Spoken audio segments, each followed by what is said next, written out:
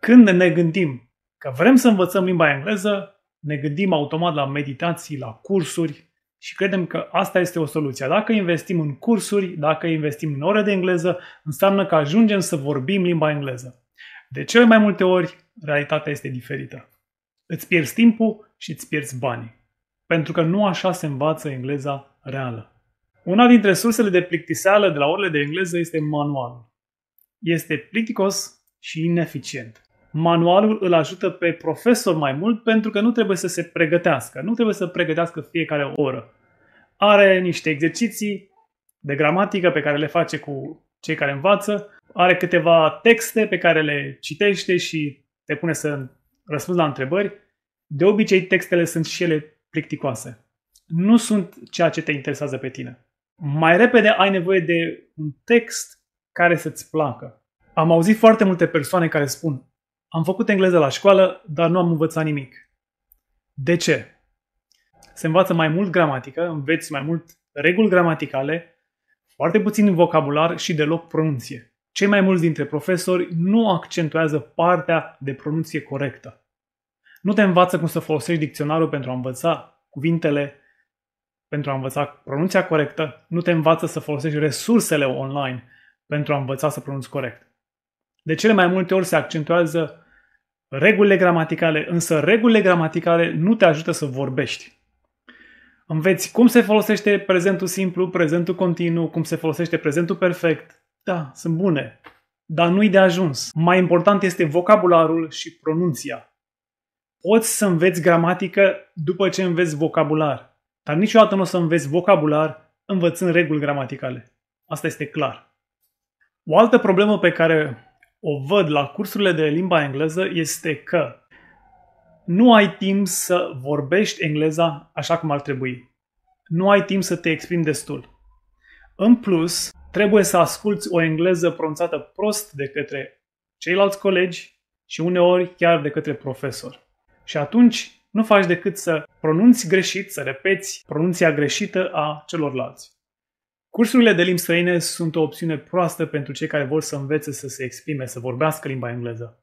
Dacă vrei să înveți să vorbești fluent, mai bine alege clubul de conversație. Este adevărat că nu sunt multe sau sunt foarte puține aproape deloc. O parte foarte importantă din învățare este ascultarea. Nu este de ajuns să înveți reguli gramaticale, trebuie să asculți limba engleză așa cum se vorbește ea în viața reală nu asculți destul de mult în limba engleză. Decât să faci reguli gramaticale, mai bine ascultă în limba engleză. Ascultă la televizor, ascultă pe YouTube, urmărește filmulețe în limba engleză reală. Listele de cuvinte la vocabular și temele pentru acasă sunt alte idei proaste pentru cei care vor să învețe limba engleză. Nu te ajută cu nimic dacă îți faci liste de cuvinte la vocabular și le înveți pe de rost.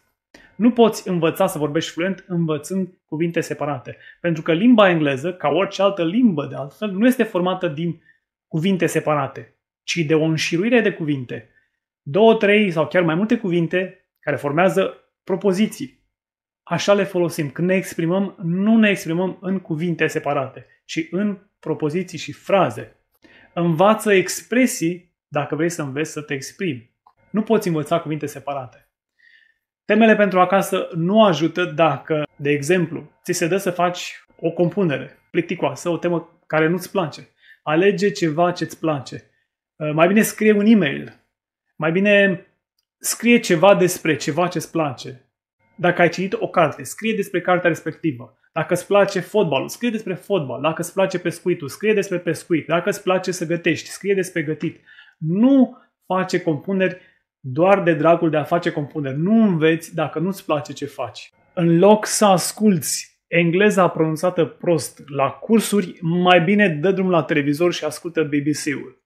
Urmărește pe internet, urmărește pe YouTube filmulețe cu engleza vorbită așa cum trebuie în viața de zi cu zi, în Marea Britanie, în America și așa mai departe. În loc să stai două ore la curs și să nu înveți nimic, mai bine urmărești un filmuleț scurt pe YouTube pui pauză și repeți fiecare cuvânt, fiecare propoziție, fiecare frază, așa cum o auzi. Repetă până pronunți la fel ca cel care vorbește engleza respectivă. În loc să lucrezi după un manual plictisitor, mai bine citește un articol interesant, mai bine citește o carte interesantă, înveți mai mult vocabular și ai ocazia, chiar dacă ești singur, să pronunți cu voce tare, ceea ce este foarte important. La curs nu pronunți cu voce tare. Nu ai ocazia. Nu toți au ocazia să pronunțe cu voce tare, să accentueze pronunția și de cele mai multe ori nu ești corectat, pentru că profesorul nu are timp să-i corecteze pe toți. Urmărește lecțiile mele pe YouTube și dacă ai întrebări, lasă comentarii mai jos. Este foarte important să te exprimi, chiar și în scris. Ajută foarte mult pentru că te ajută să gândești într-un anumit fel. Dacă ai întrebări, lasă un comentariu mai jos, abonează-te dacă ești nou pe canal, te like dacă ai înțeles mesajul și ți-a plăcut lecția și ne vedem data viitoare cu alte lecții la engleză.